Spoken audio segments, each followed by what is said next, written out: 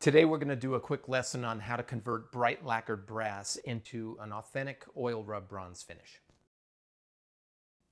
So the first thing you're going to want to do is check the hardware with a magnet to determine if it's solid brass or brass plated steel.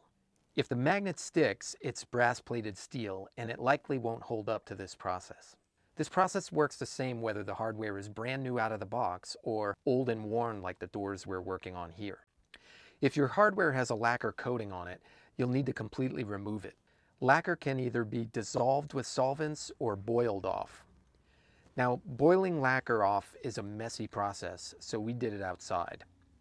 Make sure you have enough water to cover all the parts, and add a few tablespoons of baking soda to the water to help lift the lacquer.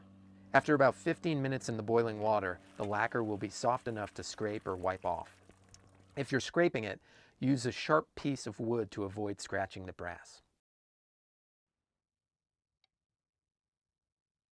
If there is some stubborn lacquer in certain spots, you can remove it with a strong solvent like acetone.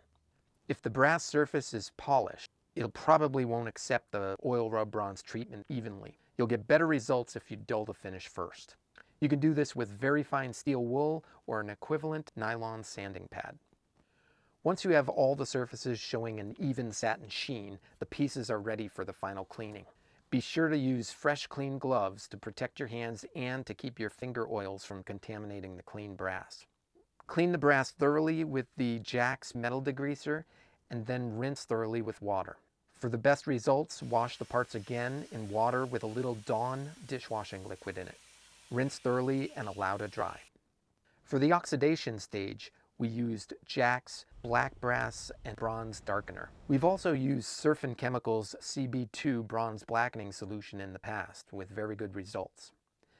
Jax instructions say that you can either dip the parts or apply the solution with a brush. We found that applying with a brush gives a better result. The brushing action can help even out some trouble spots. When you reach the point where the part has the look you want, immediately rinse it with water and let it dry. If you find the piece has some bare spots or areas that didn't take, carefully scrub off those areas and spot apply more blackening solution. Then rinse and dry again. If the whole thing is a disaster, just clean it again and start over. As long as your parts are solid brass, you can repeat until you get it right. Note that this is a living finish, which means it'll wear off over time with use. You can leave the pieces just as they are, or for a little extra protection, you can wax them. Apply the wax liberally with a soft cloth.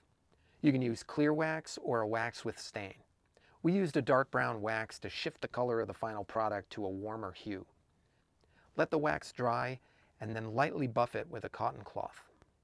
If you don't like the idea of letting the finish rub off naturally over time, then skip the wax step and instead apply several light coats of clear lacquer in a flat or matte finish.